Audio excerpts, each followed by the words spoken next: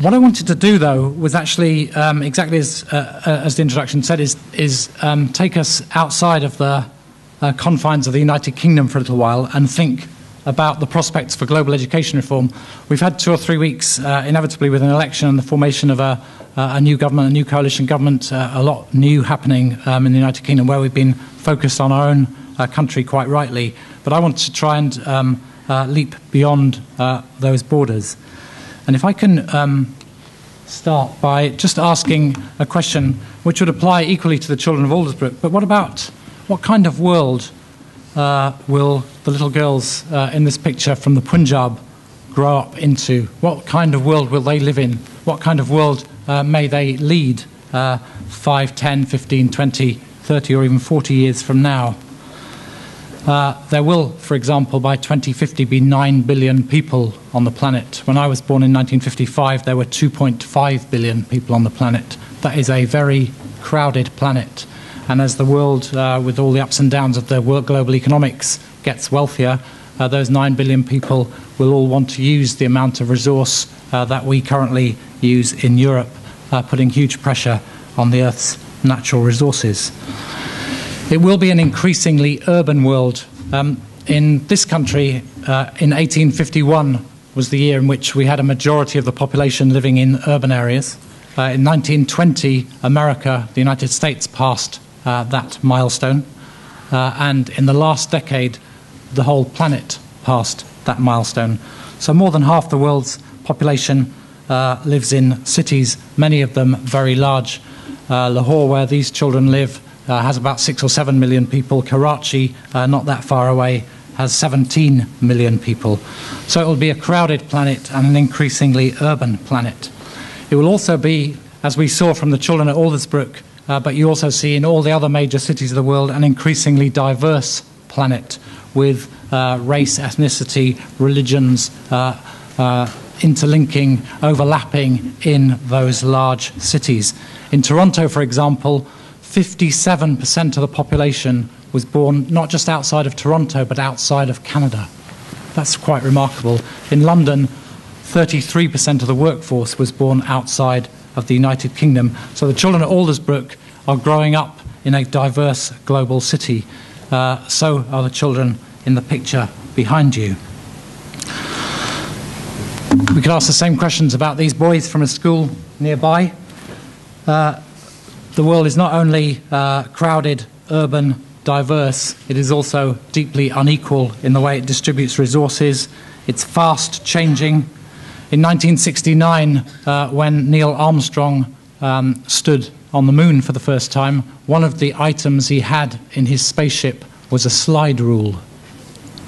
Seems bizarre to even think about it now.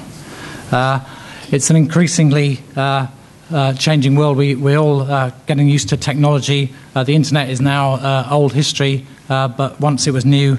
I don't know how many of you um, uh, took a while to get used to internet shopping. I certainly remember getting a bag of sugar about this large, which I didn't really want and took me a long time to use up. I remember the first time I learnt text messaging from my daughter Alice, who was in Yvonne's school.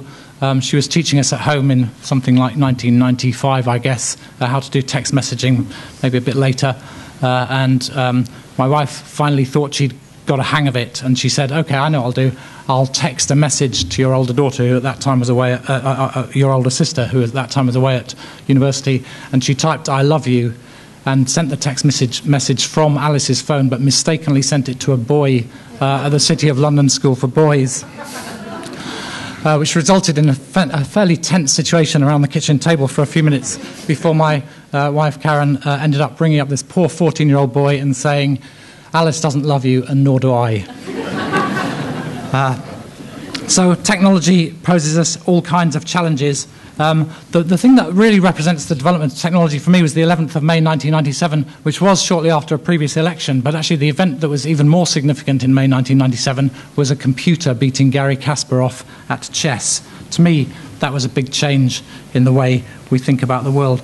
And now, uh, there are a whole lot of new te- technologies. I don't know if any of you've seen the people, um, they're, they're, going to stop reading books soon, soon because you see people, these Kindles and all the other things uh, that, that, that are, allow you to download entire books. When I became a member of the governing council here at the Institute, um, having been a professor here, one of the things I like best about the Institute is the library. We had a briefing as members of the governing council about the library. It was absolutely fantastic. It's amazing what they can do. The briefing lasted 20 minutes, and the librarian, who's a wonderful man, didn't mention books once.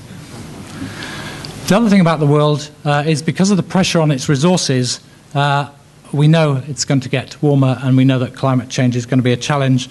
If you look back over um, uh, recent centuries, you get a, a, some fluctuations in the variation in the planet's temperature, but a two degree Celsius rise in a century is completely unprecedented, and that's what it'll be if the Copenhagen Agreement were fully implemented really effectively right around the world.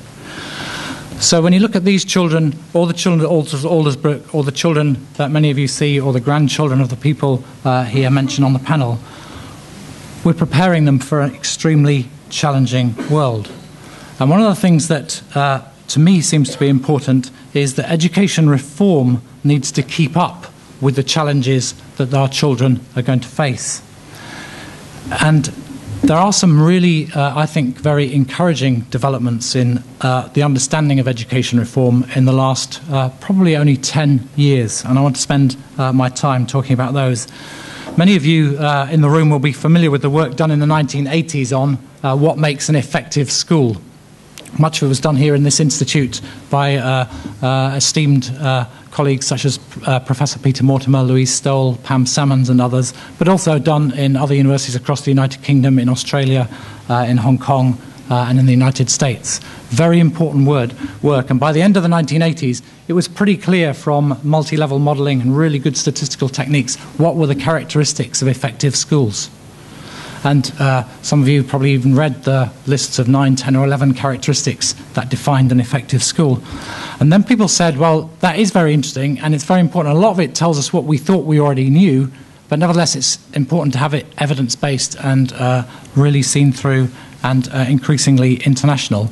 But then people said, well, it's one thing to be able to define an effective school when you find it, but the really important challenge for a, a, head teacher or a principal in the United States, or indeed for a policymaker, is not what does an effective school look like, but how do you become effective? And so in the 1990s, the research moved on, and a lot of it was about school improvement. How do you take a school that is quite good and make it brilliant? How do you take a school that is struggling and make it good? And we had a lot of very good, uh, profound research, again, much of it done here in the Institute, but also all around the world on school improvement. What's happening in, in the most recent decade or two is people are taking a similar approach but looking at whole systems. So in the last decade, um, we began to get much clearer about what a good education system, a whole system, whether a state of the United States or um, a province of Canada or uh, England or France or whatever it might be. So, large systems, we began to understand what were the characteristics of effective school systems.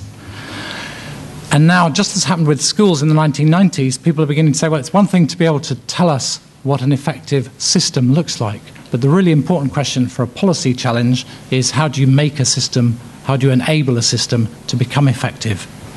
And for the children in the picture, this is a really important question, and it's a really urgent question.